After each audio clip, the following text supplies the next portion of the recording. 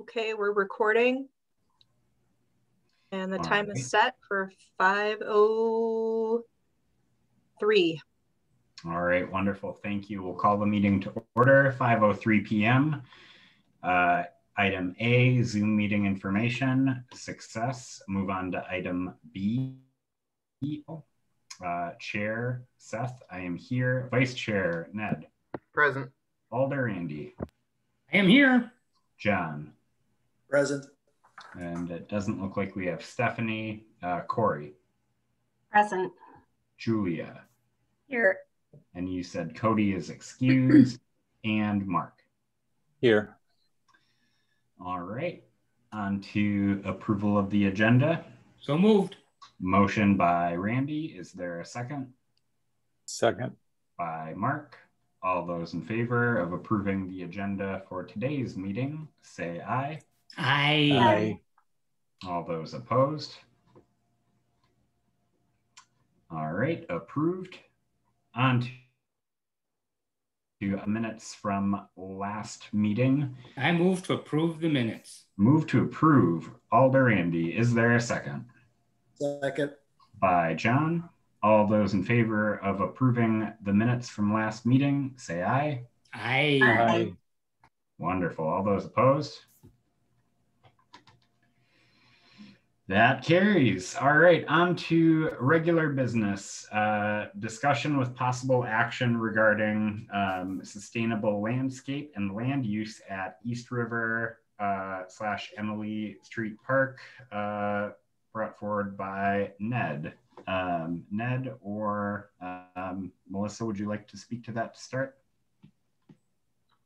Um, this was brought up in the last meeting and we tabled it or held it over for this meeting. Um, I don't have a lot to say at this point other than um, for the land use part of it. Um, Ned, I don't know if you were referring to the dog park suggestion or just the sustainable landscaping conversion to potential pollinator habitat and maybe better adapted plants for that area of the East River Parkway.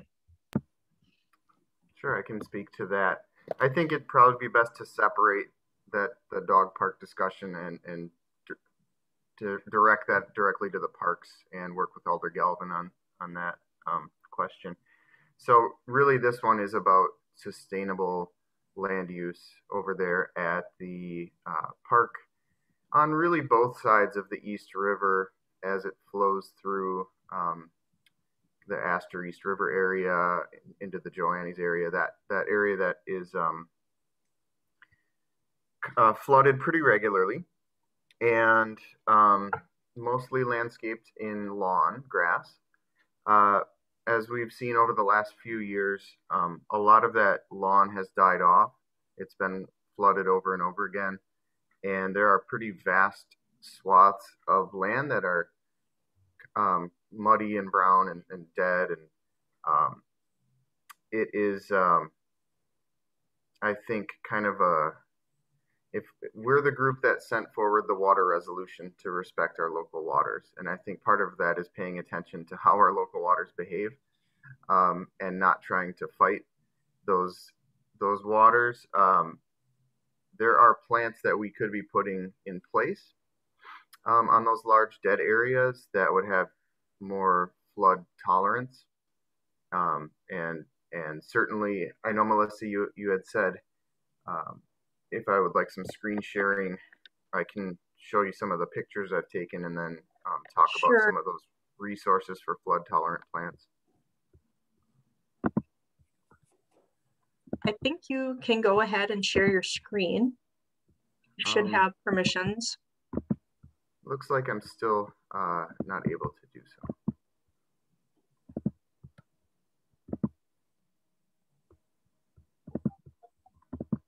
There we go. Okay.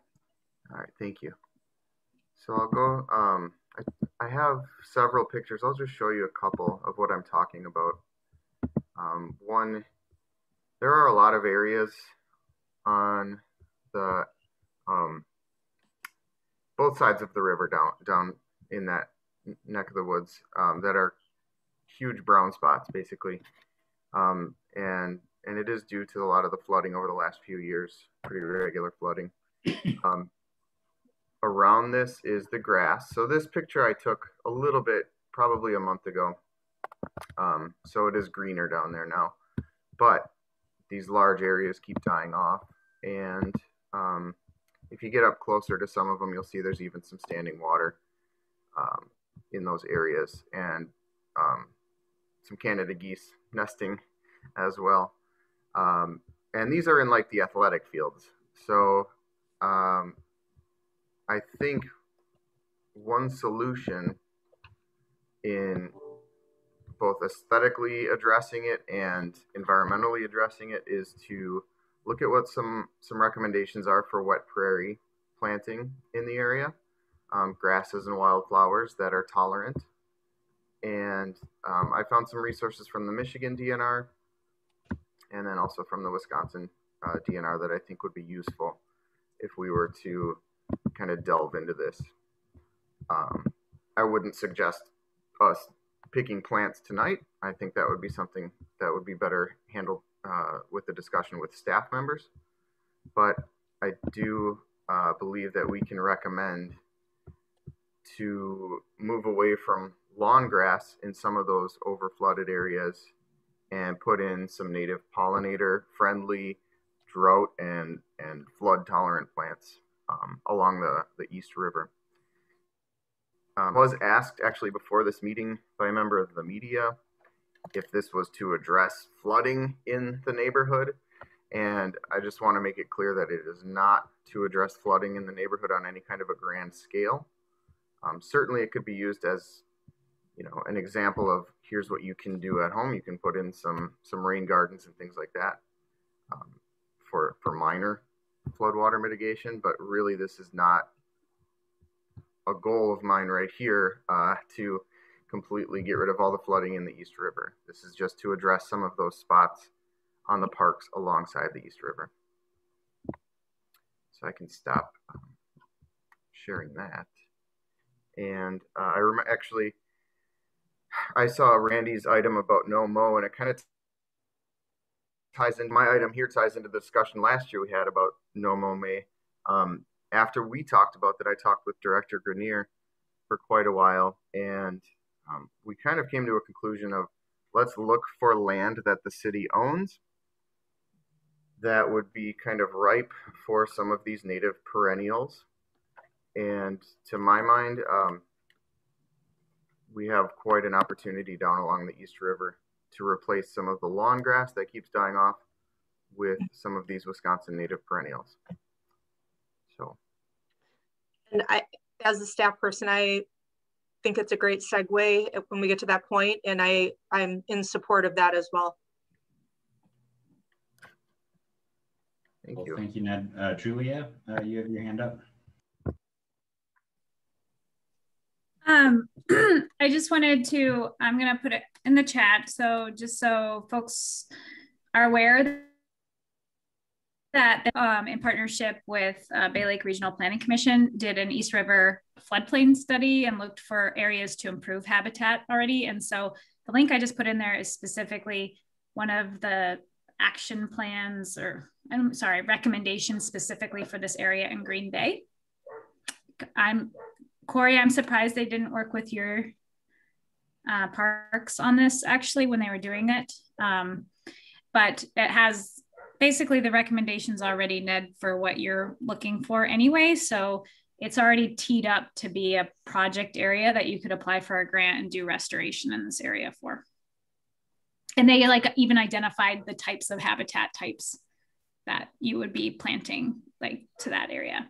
And so it would be, um, in terms of flooding, what you can say though is it's um, protecting the floodplain and like, so not developing it. And it's a really important piece of um, not developing in the floodplain. Therefore, it, it, does have a flood benefit, flood protection benefit.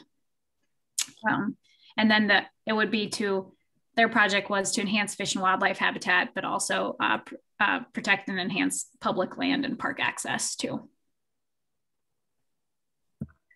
Thank you. Julie, could I ask you a question? Mm -hmm. um, so I remember you actually you and I talked about this the idea of planting along the East River maybe a year or two ago, and I think you had mentioned that doing a large scale planting in that neighborhood, either on the Van Beaver side or um, on the Astor side, wouldn't necessarily um, be kind of a one and done project to control flooding in that area. Does that sound familiar to you? Yes. So your, your question? Would you, okay, so is the recommendation that you shared with us more about flood control or is it something else? That I, it's exactly kind of what you, it's what you said. This is a really great uh, opportunity to improve like fish and wildlife habitat and restore wetland floodplains. Right now it's turf grass. Mm-hmm. Um, you're likely not going to do development, but it is in terms of it's in the floodplain. So, which means you can count it towards being um, an action to increase flood resiliency. But oh, yes, wonderful. it's not going to solve the problems that exist there because it's there's more there's houses in the floodplain that are beyond this the park area. Mm-hmm. But um, it is a flood benefit because you're protecting and restoring the floodplain. Wonderful, wonderful. Does that make sense? That does. You know, I, I don't want to. I guess based on the conversation that you and I had, whenever that was, um, I don't want to give anyone kind of the false hope that putting a bunch of plants in the park is going to solve our flood problems along the East River in that part of town. So I just want to be mindful about how uh, we would communicate that recommendation. That is, that is correct. I think again, your message that is really accurate though, in um, we want to promote restoration of the floodplain and other areas too, like nat- mm-hmm. naturalizing it also. Um, so it's it's not gonna and it is it's protecting flood storage. Okay. And yeah, it's like it's an important asset that that is an area that is allowed to flood. Right. Right.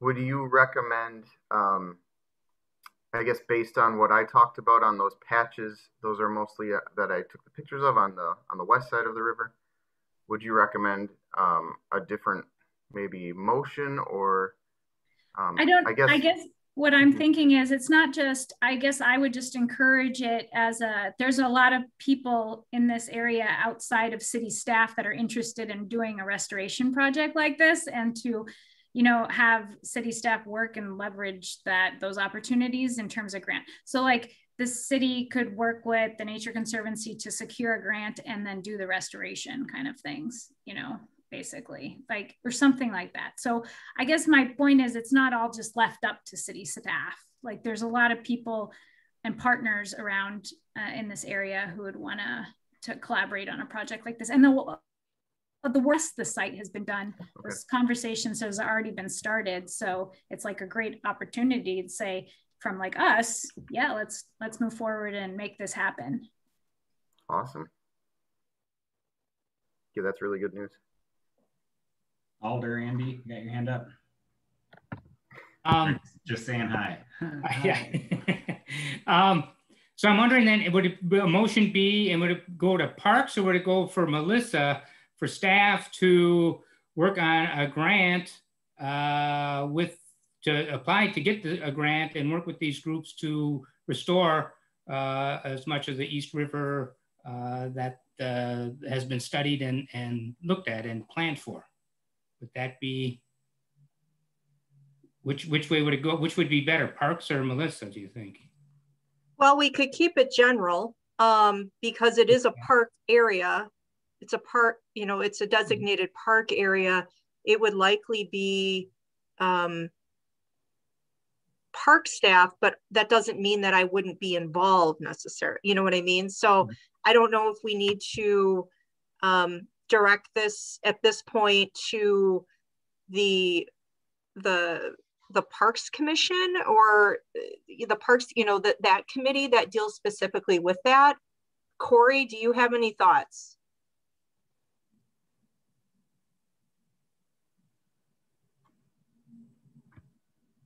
she's frozen in thought oh she just says she has a poor internet connection So I guess my Hi, can you hear me? recommendation, Oh. yes, yes, we can. Okay, my internet. I'm not sure if you're hearing me. I'm trying to call in. Maybe could we have her type what she wanted to? Um, Grades. Corey, if you can, if you can hear us, try turning your video off, just using your audio.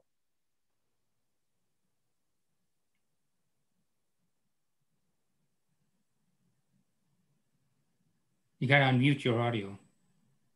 Hello? Yes. Can you hear me now? Okay. Um, I, it keeps freezing up on me, so hopefully this will help maybe now. Sounds like, can you hear me? Yep, Okay. A lot better. Great. Um, I don't know, it sounded like you're maybe looking for input or I'm not sure. Sorry, I missed The of the question, the question is, is, you know, as far as emotion, how to refer this, does it just refer to staff? Um, does it go specifically to park staff?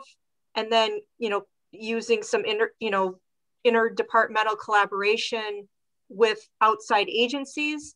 Or does it need to go to a, a um, does the Sustainability Commission now need to refer it to a standing committee? Which is kind of what I'm thinking it needs to go to. A standing committee like within the Sustainability Commission, you mean? Or, or No, a like standing Parks committee, is there, yeah. Yes, the Parks Committee, that's what I'm wondering if it needs to go to.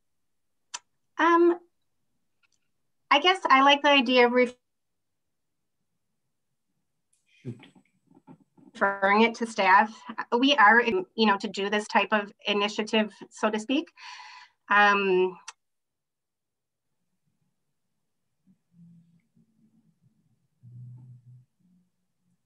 we are like currently looking at the possibility. Oh, it looks like I'm. Free. Oh, okay, I think I'm back. Maybe.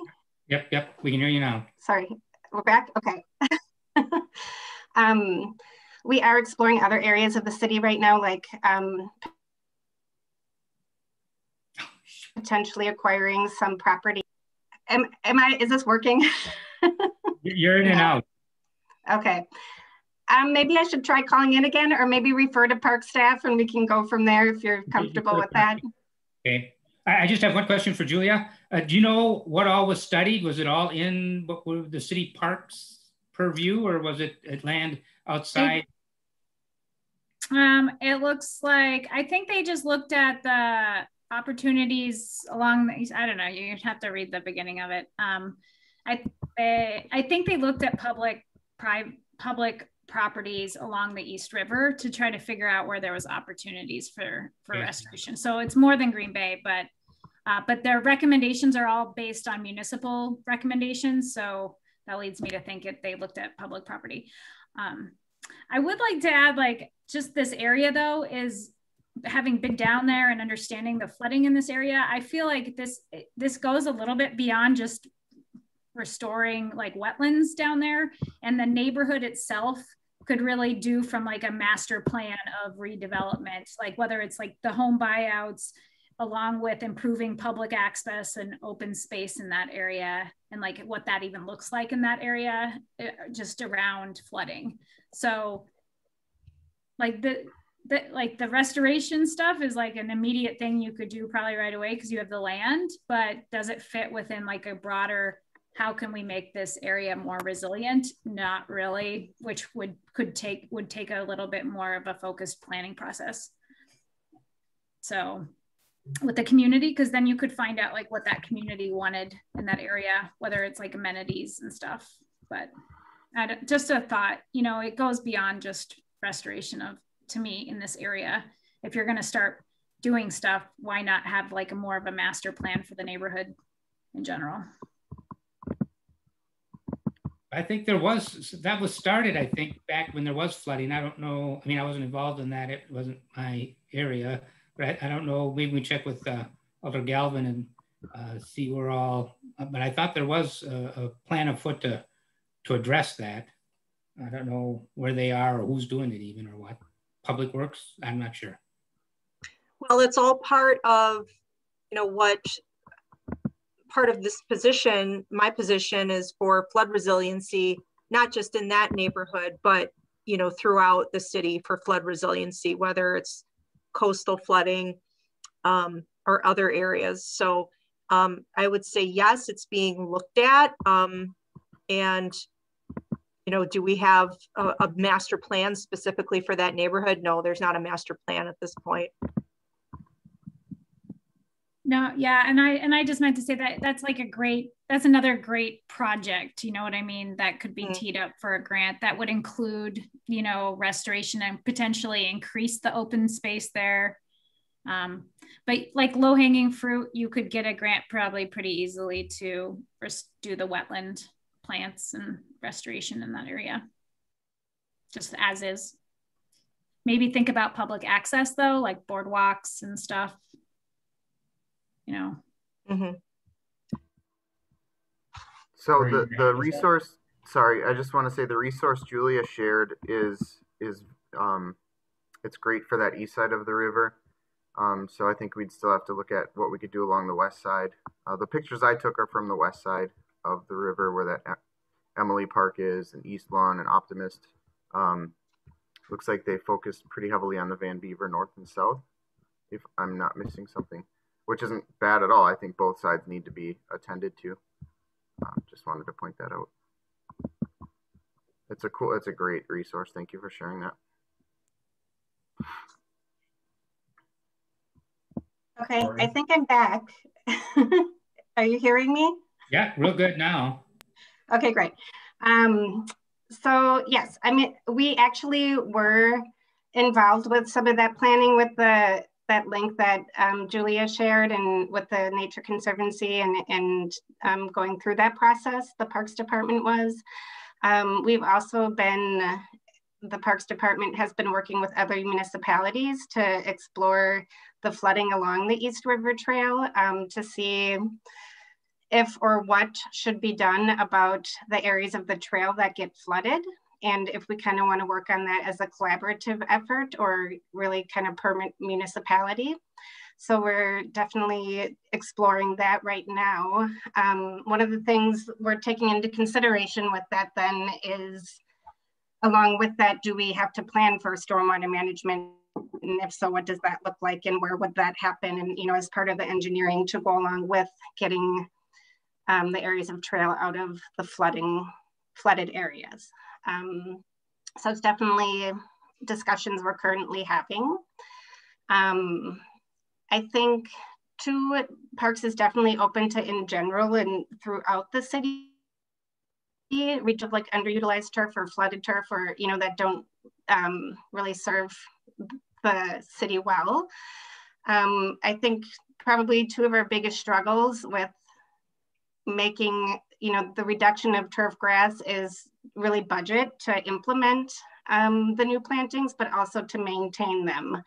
We're not really set up right now to um, be able to manage a lot of native turf planting or native plant, native plantings, um, you know, versus turf grass. And so it's just something that we'll have to consider as we move forward. How are we going to manage these areas once they're converted? And and the hope is you know, hopefully it's only a few years. Once they're established, they, for the most part, kind of maintain themselves.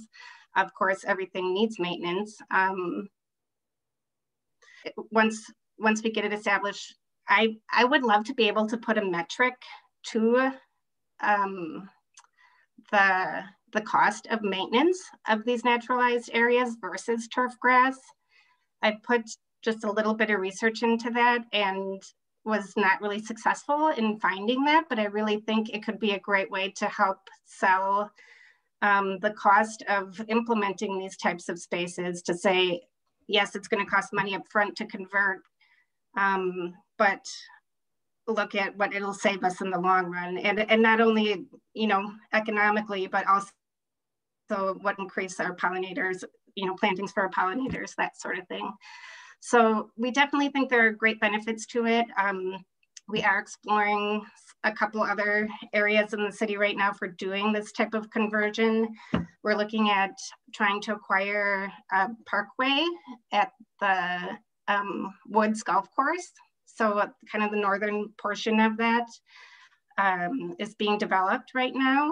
And as part of that development, we're trying to acquire 12.1 acres, which um, is adjacent to the south branch or southern branch of the Baird Creek.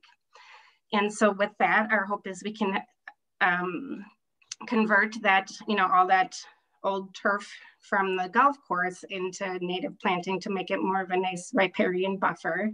So that's a project we are currently looking at also. And even like right now, also working with the Wilder um, Neighborhood Association, they just got a grant for a $1,000 for native plantings at Wilder Park that we're planning to put around the new playground area, which is like a Laura Ingalls Wilder theme. Um, so somewhat appropriate with, with that.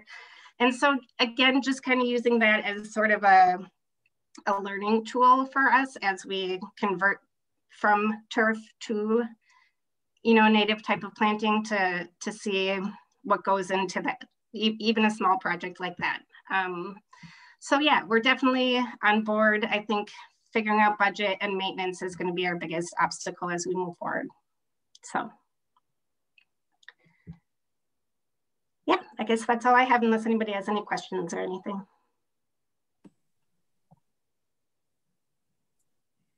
Then I make a motion that we uh, refer this to staff to uh, look into getting grants and uh, working with outside groups to restore whatever areas we can get restored. There's Second. that motion by Randy. I want to make, I want to make sure I have that um, before we completely move on. Um, motion to refer to staff and apply for Grants grants. to Um, work, work with outside groups to restore areas along the East River.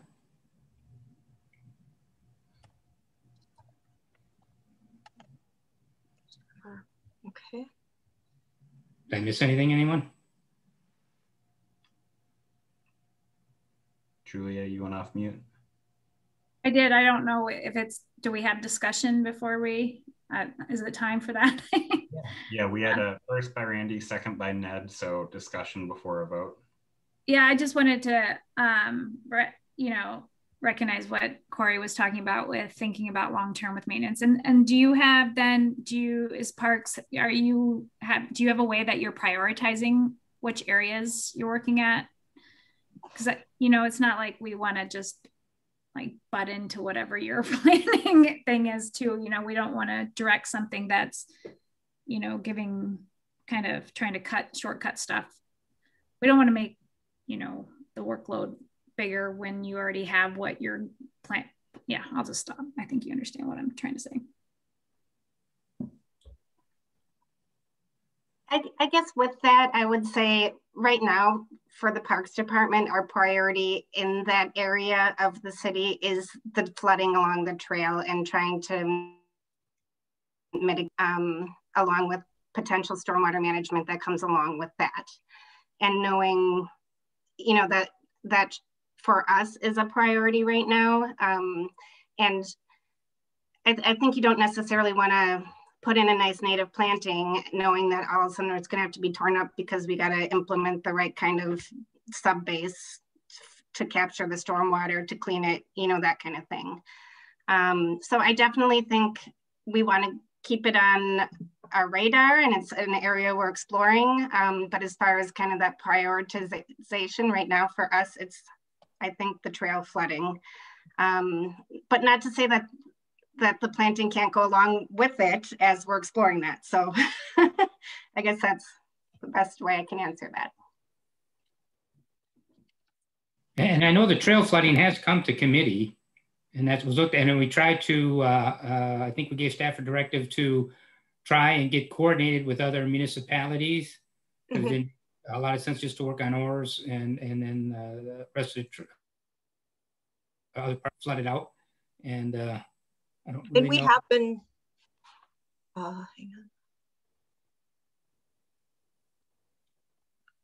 Randy, I was just going to say, I've been involved with the East River Resiliency Collaborative. Um, which is a partnership between the Nature Conservancy and a lot of different villages and municipalities and other stakeholders. So that is, there is action being um, taken and momentum uh, along that front.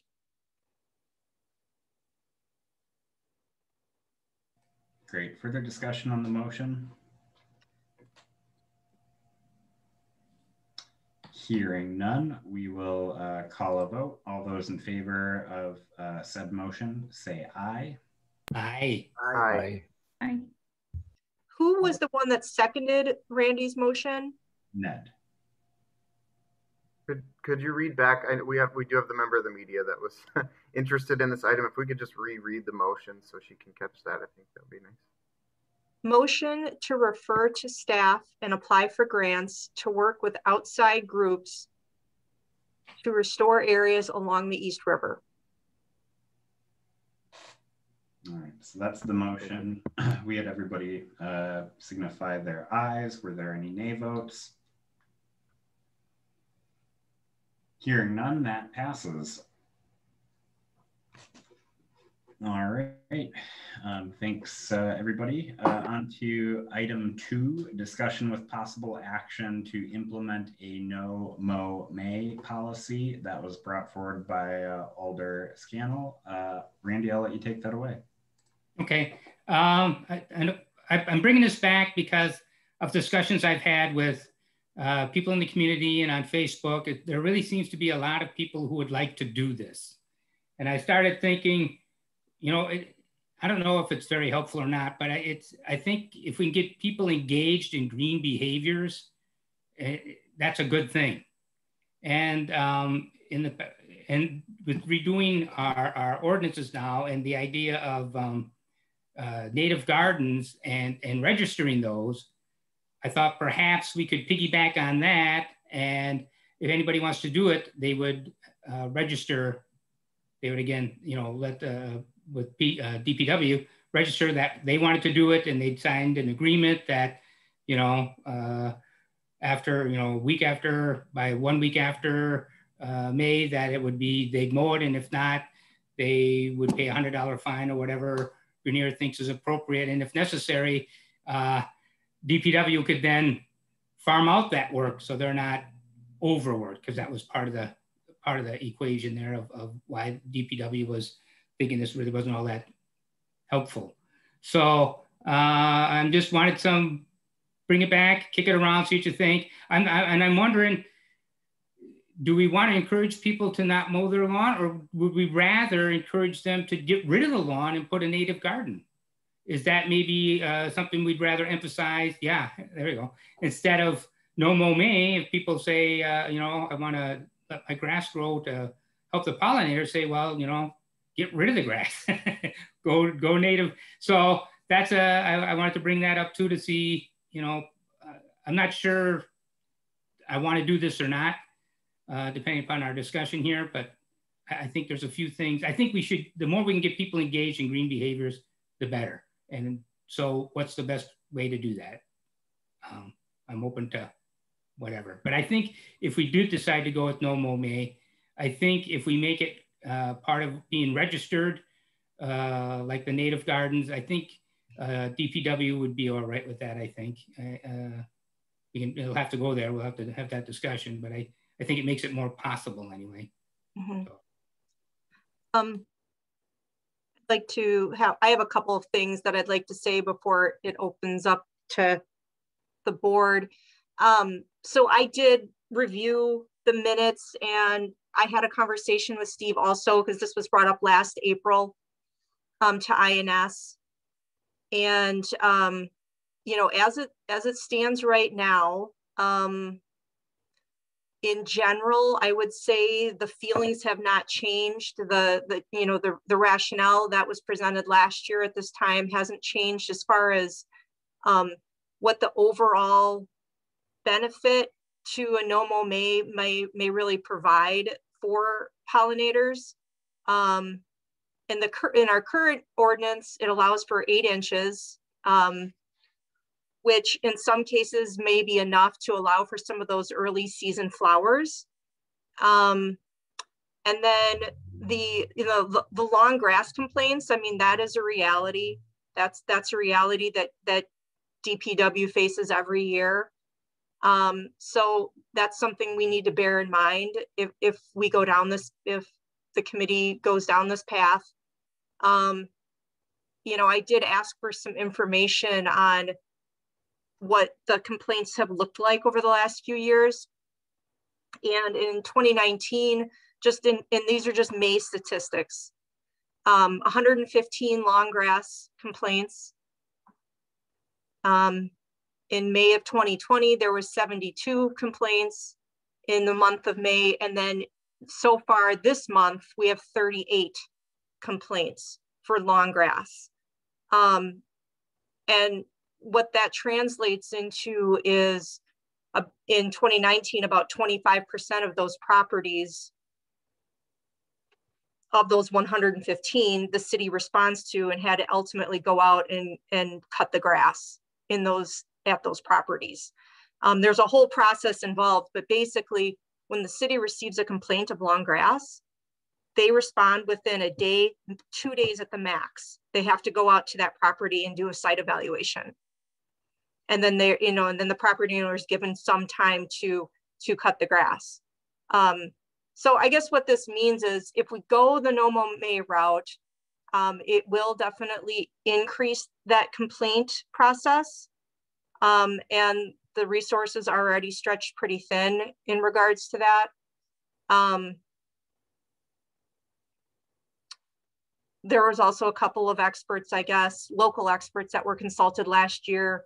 Um, and Steve brought that forward um, in the meeting last year about the, you know, the, the potential benefits of, of no mow May and really, I guess the conclusion was if someone's letting their grass grow long, but they're still er, treating it with potent, you know, with herbicides to treat dandelions, now we just have really we have long grasses and not a lot of fl um, flowers that are that are available. Um, I also agree with with you, Randy. Um, I think we need to promote the the planned natural landscape areas and encourage registration and really do a good job of getting the word out there so that you know if people want to do pollinator habitat that it's it's maybe a long-term sustainable thing than just one month you're not mowing your grass versus a whole section of your yard that's dedicated to pollinators. So my recommendation is to go that route.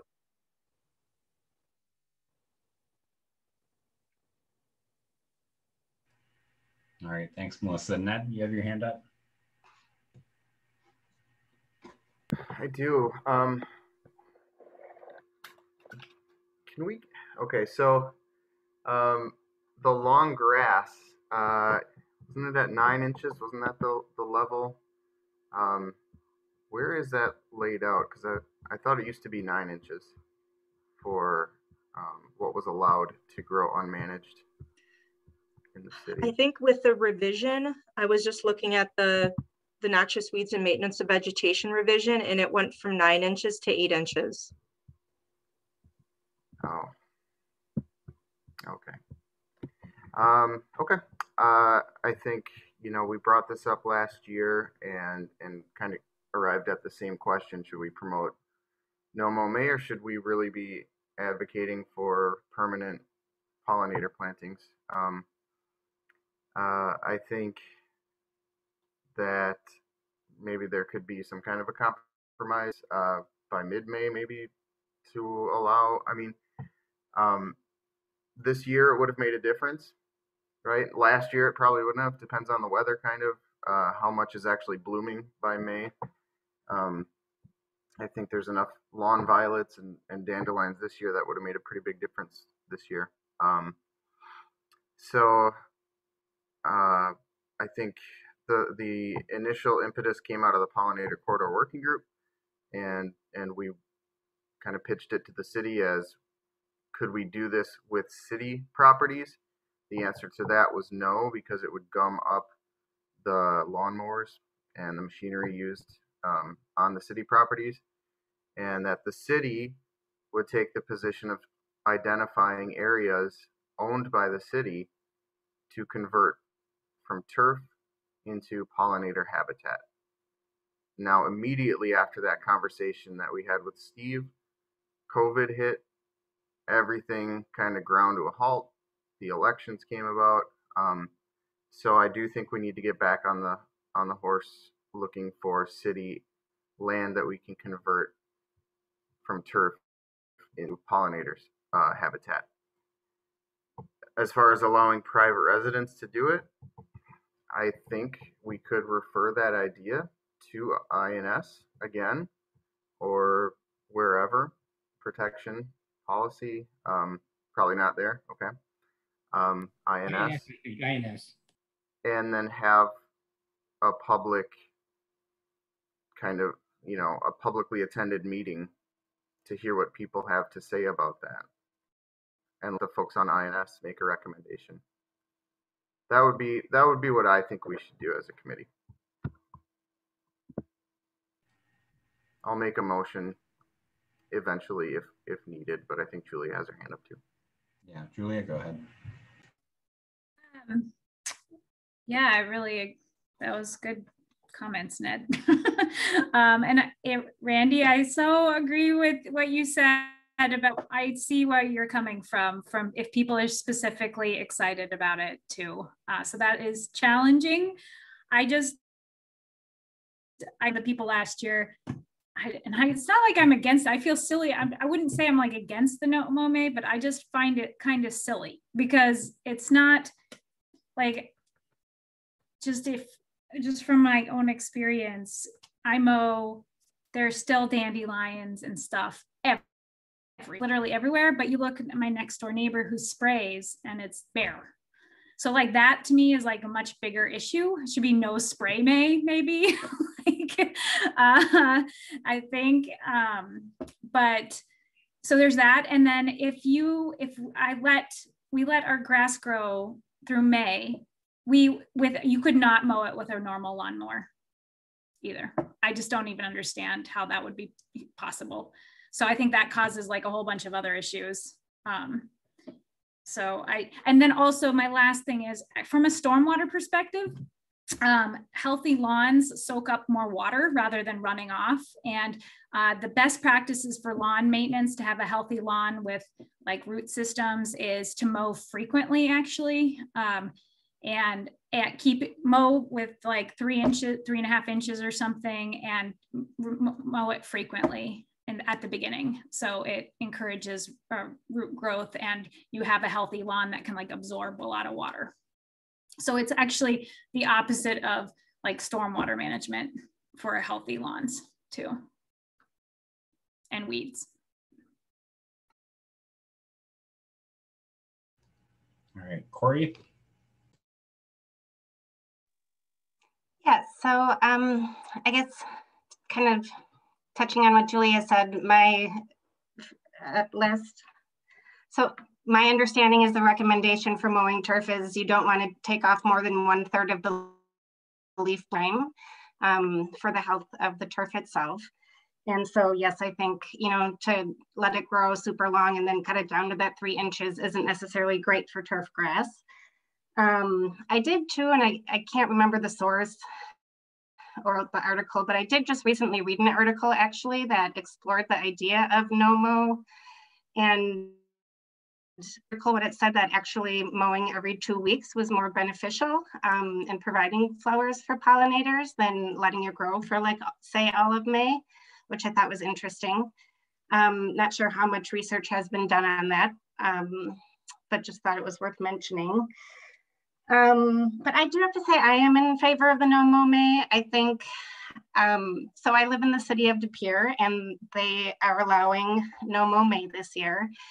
Um, they also are um, providing like a sign you can put in your yard that says like no May and it has a bee on it, so people can understand you know what you're trying to achieve by letting it grow. Um, you're not required to put that forward, but it's something we could explore if we wanted to move forward with it.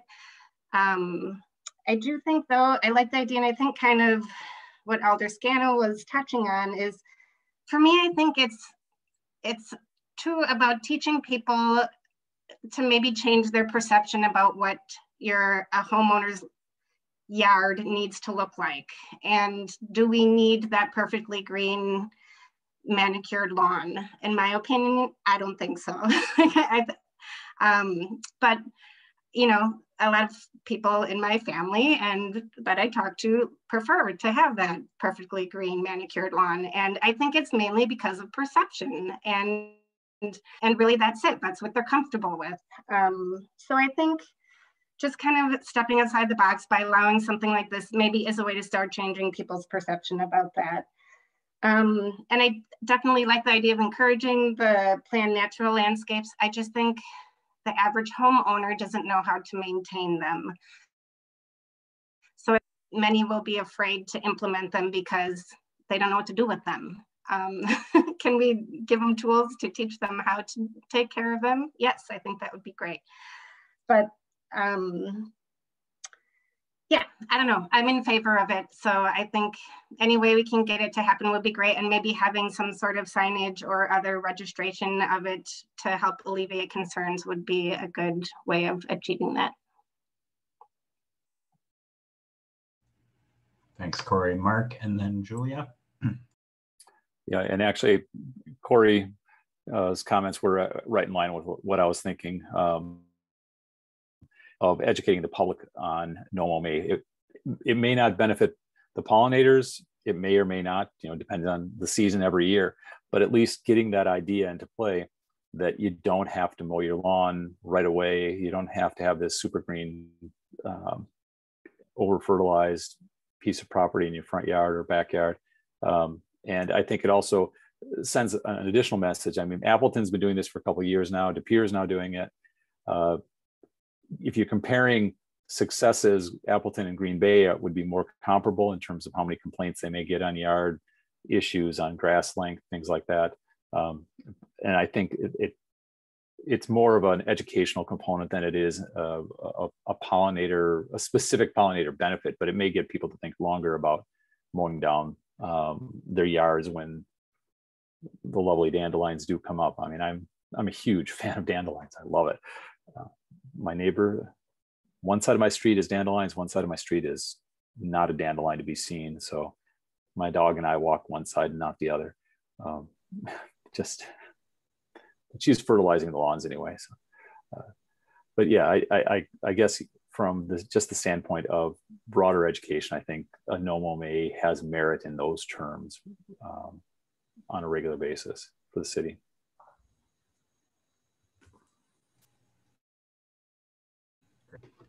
Uh, I, as I'm thinking about it, I, uh, I guess I'm not, I'm not necessarily opposed to No Mow May. I, I still want uh, more effort uh, in promotion of pollinator areas. Um, I think we need to, to, get more education out there for uh, city residents.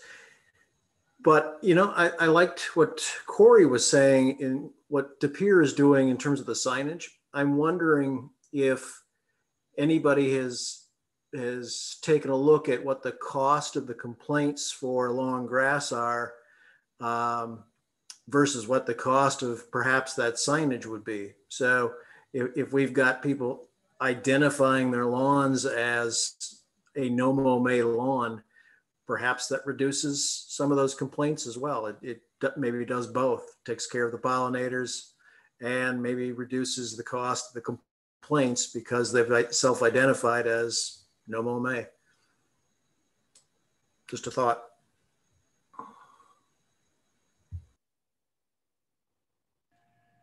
All right, thanks, John. Other thoughts? Yes. Randy?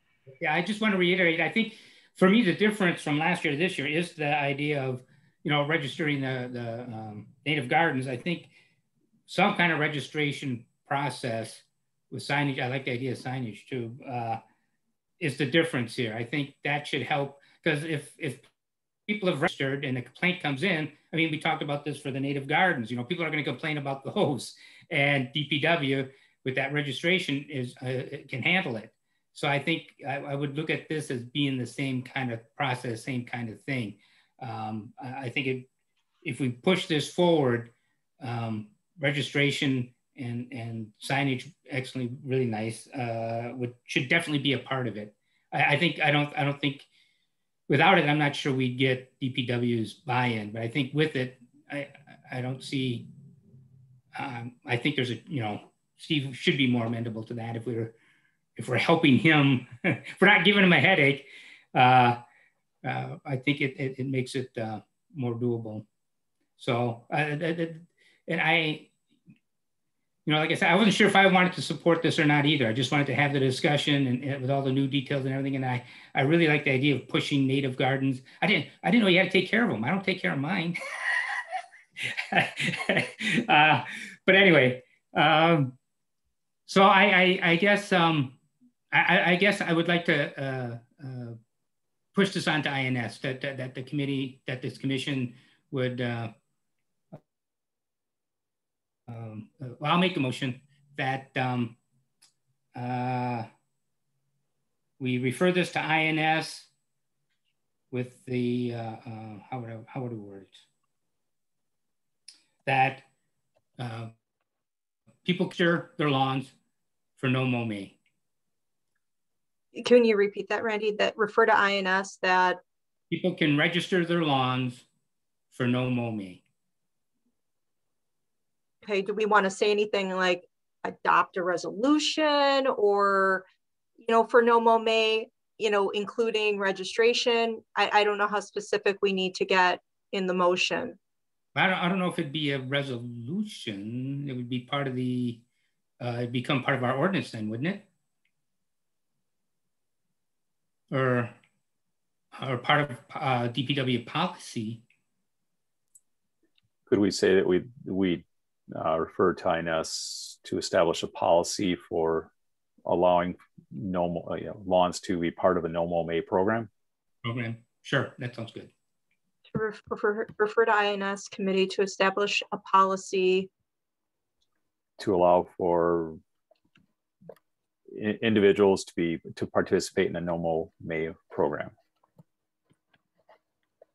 Could we um anyway, I would like to amend it just slightly when when we get to that point.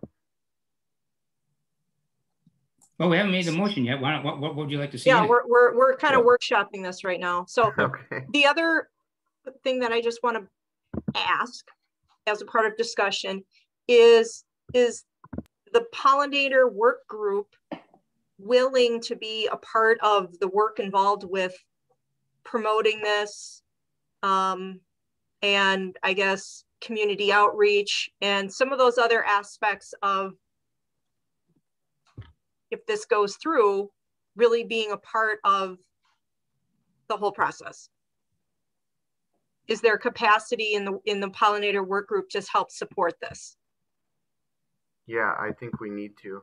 I, I, I, would agree that it should be something that the working group takes on, um, along with what John is doing, maybe out at GB as well. Um, and he's connected to some of the folks that are also in the working group too. So, um, with with GB's B B program, um, I think I think John and I maybe should should set up some time to to talk about how we can effectively work together to promote this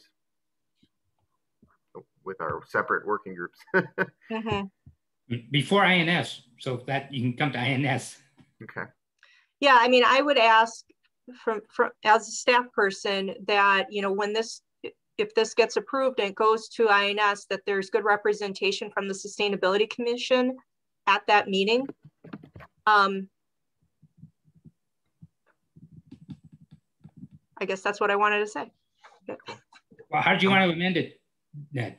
I, I thought Julia had a really important twist on this and not just calling it a no, no moment breme.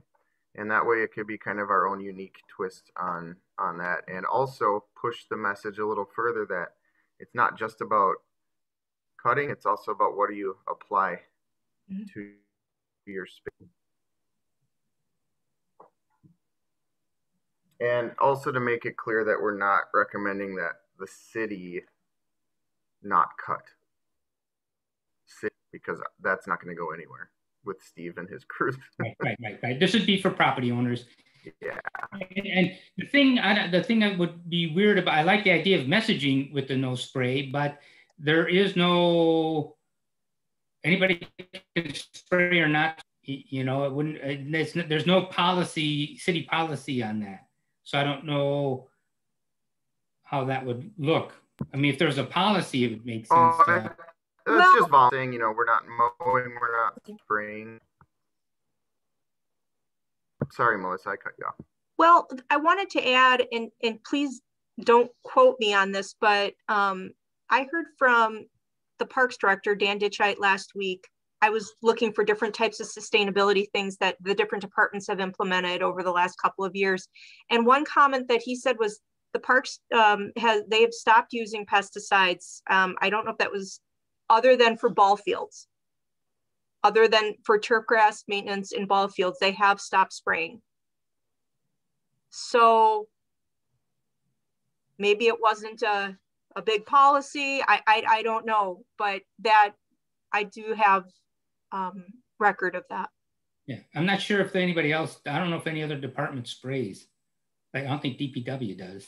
I could be wrong. It could be like depending like if there's certain facilities that a department has that they need to maintain clearance, they might use spraying. Um, you know, utilities routinely do that. So I, I'm not really sure. Yeah, I'm not opposed to adding that to the uh, to the uh, communication, but it, it does it does come across. I think the city has a. Uh, we're talking about property owners. We don't have any kind of policy or ordinance prohibiting or mm-hmm. directing that behavior. So maybe we should start looking at, you know, do we want an ordinance of no no spraying? do we um, do we want to well, um, have it be so that it's it's limited to Green Bay residential properties? Um, you know, versus commercial properties or vacant lands and things property, like that. Private, I think private property. Yeah. So if there's a business that wants to do it, I, I don't think, you know, I think that just private property. We're, we're, we're, this is the focus is uh, for private property. Yeah, and I think it would be hard to, I, I think it would be a bigger benefit in some ways to have, a private, you know, think about the paper mills where they, they have set aside land that they, they spend hours mowing all the time. That would be great for uh, a no mow May experiment and, and demonstration project. Um, just in terms of the comment though about the no spray, I, I would I would love it. Um, you know, on a personal level, I have a breed of dog that is highly susceptible to uh, yard uh, pesticides and herbicides. Scottish Terriers die more than any other breed because of, uh, and there's a clear connection between yard chemicals and uh, and hmm. tumors that they get in their bladder. So I'm adamantly against spraying stuff and I always look at my neighbor's lawns when I walk with her. But um, I think it would be difficult to to enforce and even uh, police in some manner just because how do you identify a lawn that hasn't been that has not been sprayed? It's easy enough to identify the ones that have been sprayed but how do you you know the, the absence of it is is a is a tough call. While you could make you know suggest that people don't don't spray during May as well, um, I would rather us get the no mow May part down and then approach the other because you're also I suspect going to get pushback from the the yard companies on you know if you're saying oh we're not going to tell people not to spray during May okay they're go through any neighborhood in May and they're it's one of their busiest times of year where they're fertilizing and spraying and doing all sorts of other things this time of year. So um, rather than getting, you know, not having, uh, a, not getting a no mow May policy put in place because we're combining it with a no spray policy, rather get the no mow May policy set, put in place, get people used to that idea, and then start talking further or immediately after that start talking about you know not spraying as well as part of a larger um, larger effort so I think that's a fair point. I can remove my amendment idea for for a later conversation. but I do like it, Julia. I think no spray is is something that we should be promoting, whether a yard company gets mad at us or not. There's a there are cities and that have stuff citywide policies for city properties that have stuff too. So that could be something to start with here and look at. When I, I The, think par- the parks Bay's- already did it, so you know it could be just extending it to all city properties or something. yeah, I think all the school districts have pretty well enacted that kind of policy too, haven't they? I hope so. That's Yeah. that would be good. that would be an important one. Great. Well, so the main motion then, which was by Randy or or Mark, can can we get the motion repeated and can we get a second? Uh, Mark, go ahead. How about Melissa? Were you weren't you typing it up as we were going along? Because I've gotten lost in this swallow and then oh, you're on mute. Okay. Refer to INS committee to establish a policy to allow Green Bay residents to participate in no mow May. I would say voluntarily participate. Sure. That's the motion, and that was by Mark, I'll second. second by Randy. Uh, all those in favor, say aye. Aye. Aye. I All those opposed? All right, on to committee. Thanks, everybody. But before we leave this though, can I just ask that we, to come back to Ned and Julia's points about a no spray thing, can we uh, make sure that we get that onto an agenda sometime in the future so that we don't leave it behind for too long? Actually, I'd like to have a, an even broader one. Could we do a, could we look at uh, all the types of pollution residents are, you know, create and, and start working on ways to mitigate that? I mean, how do, how do homeowners uh, pollute every which way, carbon footprint, everything? And what can uh, residents start doing to, to uh, mitigate their pollution? I mean, that, I, and I would think that would include spraying and, and hopefully a lot more.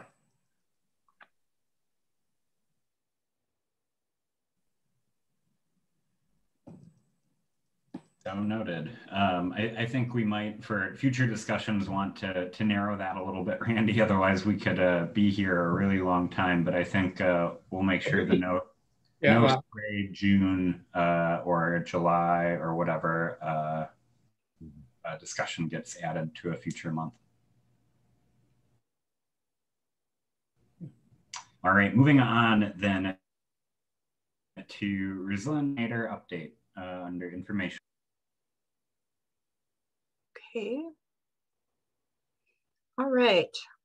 So for my updates, um, let me just get my notebook.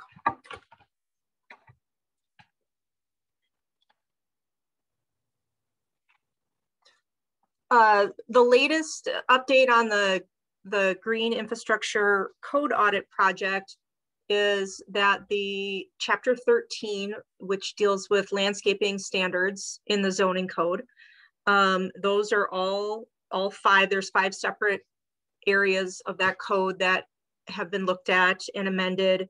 Um, it's you know gone through various levels of, of lots of different staff input.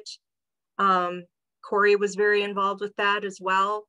And um, it's gone through law review. So we are at the point now where we have, we are going to do public outreach for chapter 13 um, before it goes to committee. Um, it cannot go to committee until the, the municipal code, the entire code gets recodified. So it's, um, it, it's gonna kind of wait and it gives us time then to do some public input, public outreach sessions for the chapter 13. Um, chapter 30, which deals with the stormwater, the stormwater code updates, that is still in progress. Um, I made quite a bit of headway this week on it so far with, with some staff in my department. So the plan going forward is to wrap up the amendments to chapter 30 and then bundle those together, send them off. We're going to do a joint public input session for both chapter 30 and chapter 13 for the green infrastructure amendments. And, um, and after that, they'll go to each of those chapters will go to the respective committees. And then we will um, present those to council as one package. Um, it, it saves on staff time. Um, it also, um, you know, it's all part of the same project. So I think just messaging it like that will avoid confusion for people thinking like, well, didn't we already hear a presentation on this? So um, that's that's my plan that I'm recommending, and it's been shared with with senior staff to go that route as well. Um, and then also just having more talks um, in regards to the the American the recovery the funds that are that are coming towards the city of Green Bay on potential projects to pursue for green infrastructure. Um, so having discussions with with staff and the mayor on that, um, and then also drafting some of the component the components for the flood resiliency plan um, what else? Um, we're also putting together some survey questions for uh, residents in the East River area for neighborhood outreach, which will help guide some of the resiliency planning efforts as well. I guess those are the main, the main things. Any questions?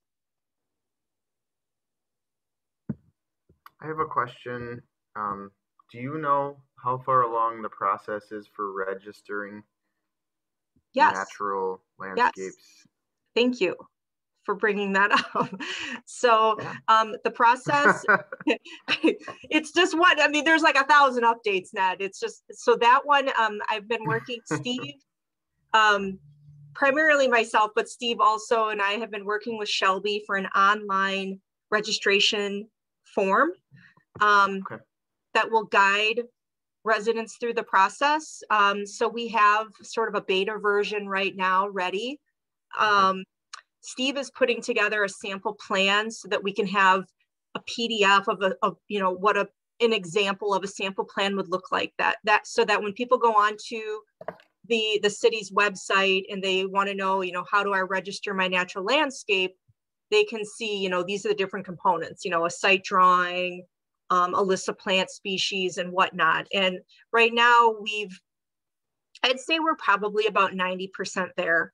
Um, the goal was to have it ready to go by June 1st. So I think we're still on track for that.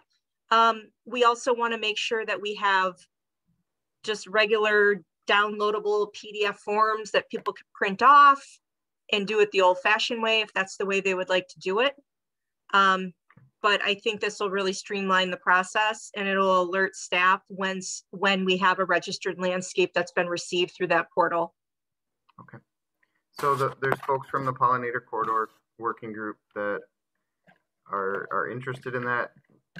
And this might be a service they could provide is looking at a draft or just giving feedback on, on the beta form, um, just as an idea. Um, not saying that you have to, but well, I mean, it's primarily kind of an IT thing, you know, the the form. It's it's not like um doesn't have pictures of plants on it or anything like that. I, am not saying yeah. it's like super pretty.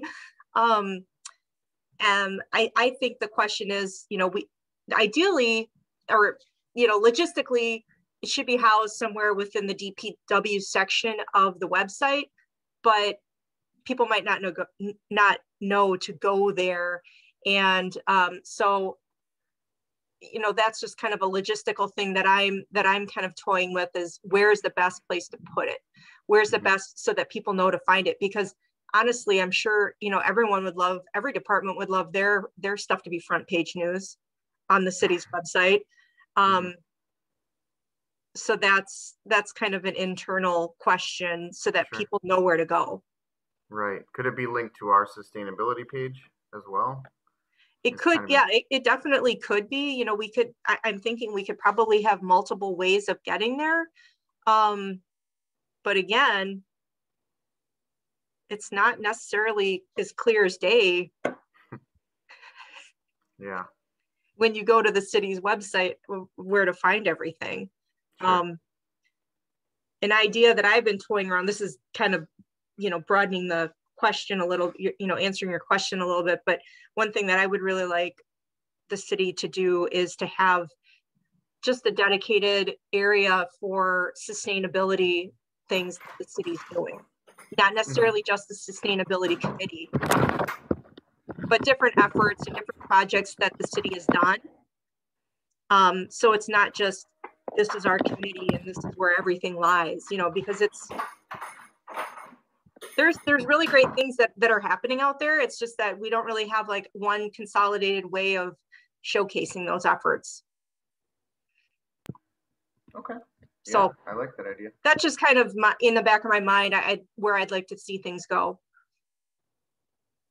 Thank you. Um, so we will need help promoting this. We will need help um, getting it through different channels in the community so that people are aware of it. And hopefully it spurs more interest in doing this. Um, we'd also like to link resources, local resources, you know, if someone's interested in creating a natural landscape, but maybe they don't know where to start. Um, you know, people not necessarily like, you know, to pay for a plan, but just, you know, maybe volunteer services that are that are out there for people to tap into. Yeah. Um, if, if you think, well, maybe you and I can talk later. Let, Yeah, yeah. Sounds good. Thank you.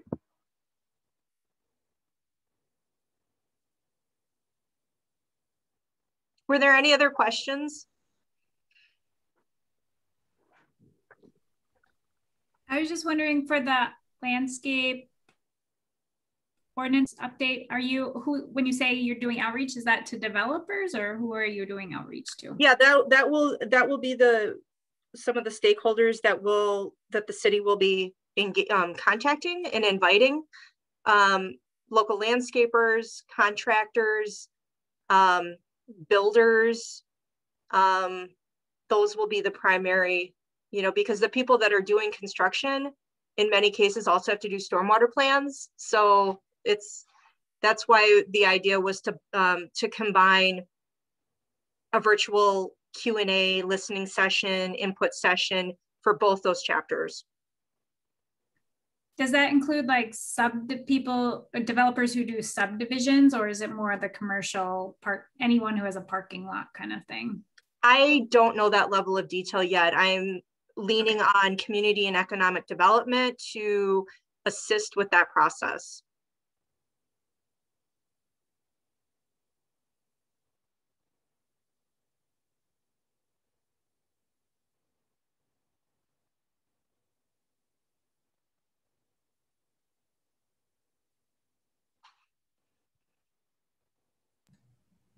All right. Last call. Hearing no other questions, we'll move on to uh, committee updates. Thank you, uh, Melissa.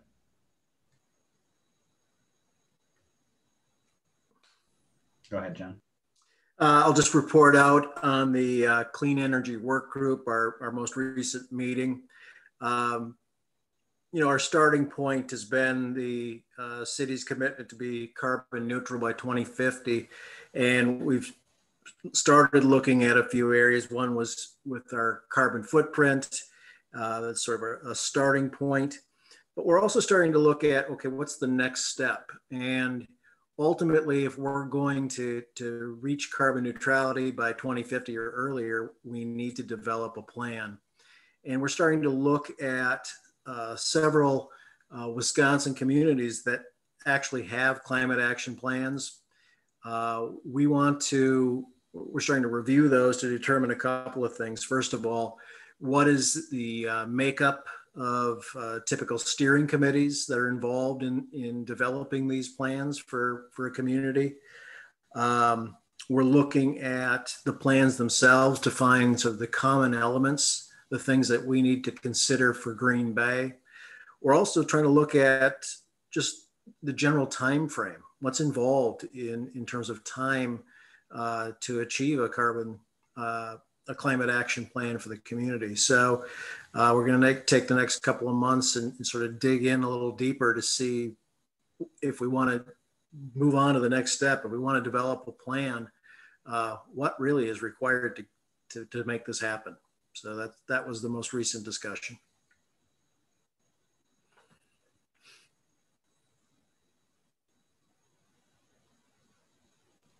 All right, thank you, Jen. Other updates or questions for John?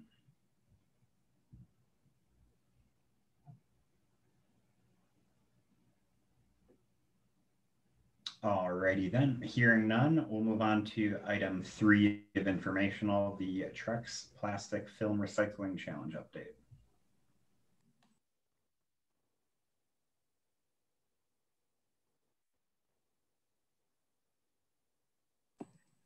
Corey, would you like to give an update or or, sure. or would you or or yeah. I can. I wasn't sure if you were still out there. Yep, I'm here. Um, yeah, so we have the materials, which are basically um, some recycle containers and then signs to go along with them. We're planning to start collecting the plastic, although actually sounds like some people are, um, are since we put something on social media, they're already bringing things into like the wildlife sanctuary, but we're going to officially start um, June 1st and have we'll have two um, collection bins there, one at the nature center, one at the observation building. Um, and then we're also going to have a bin at the at City Hall.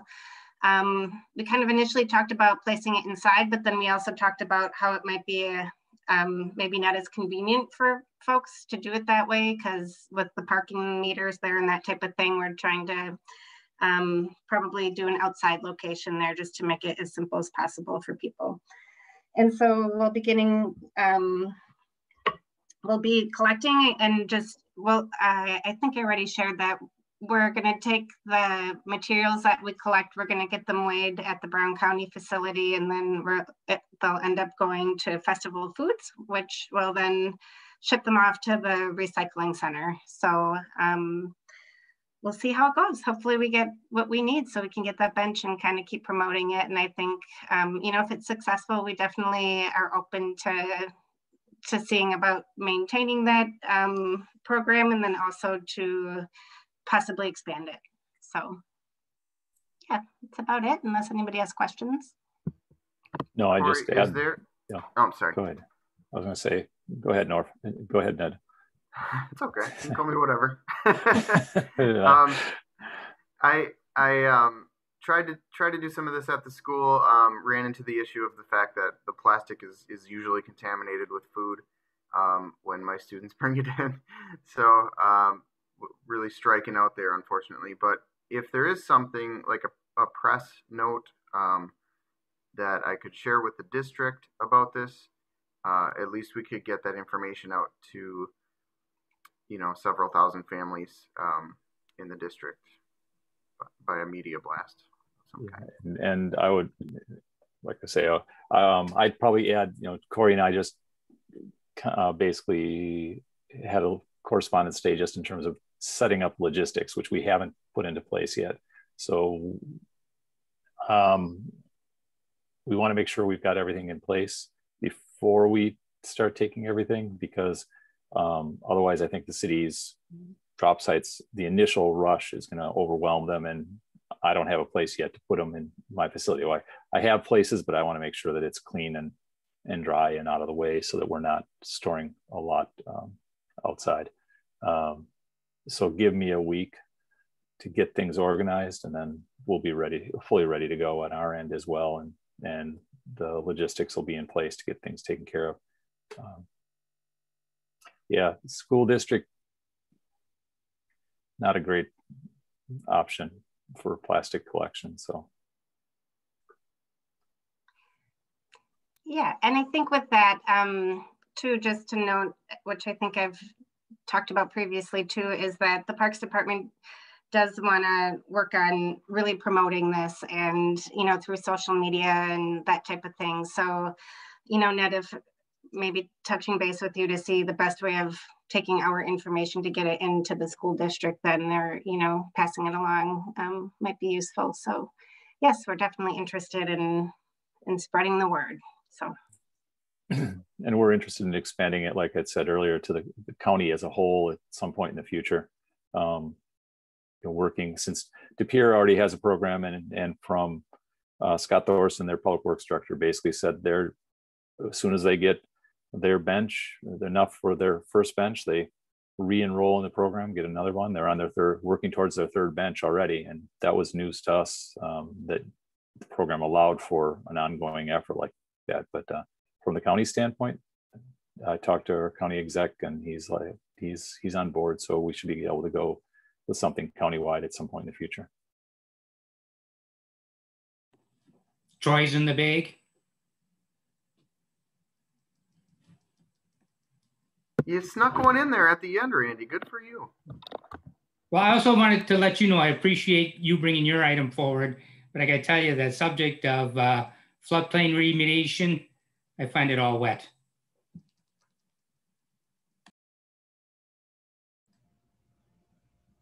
Are we moving to adjourn now? Is that? I mean, I don't know how we can top that. So we'll entertain a motion to adjourn. Motion to adjourn. By Alder Andy, second by Mark. All those in favor say aye. Aye. Aye. All those opposed. Adjourned. All right. Uh, have a have a good night, everybody. Thanks, everybody. Good night.